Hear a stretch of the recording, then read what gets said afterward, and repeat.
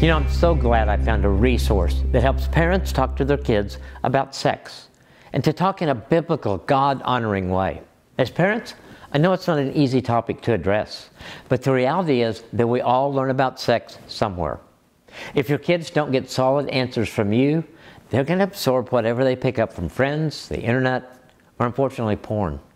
You know, a lot of my sex ed came from the high school locker room, and most of what I heard just wasn't true. Then Nancy and I married, we each brought our own sex education into marriage. Know, I don't fault Nancy's mom at all, but the way she talked about sex with Nancy did really not lay a healthy foundation for sex in her marriage. So once we were married, Nancy knew that God had given us the gift of sex to enjoy within our marriage, but it was really difficult for her to switch her mind from don't to to do and enjoy. You know, a lot of parents have taught similar things with the, only the best intentions, but that can leave kids confused, ashamed of the questions or feelings they have, and unprepared to deal with important issues. Porn, it's easier to access now than ever before.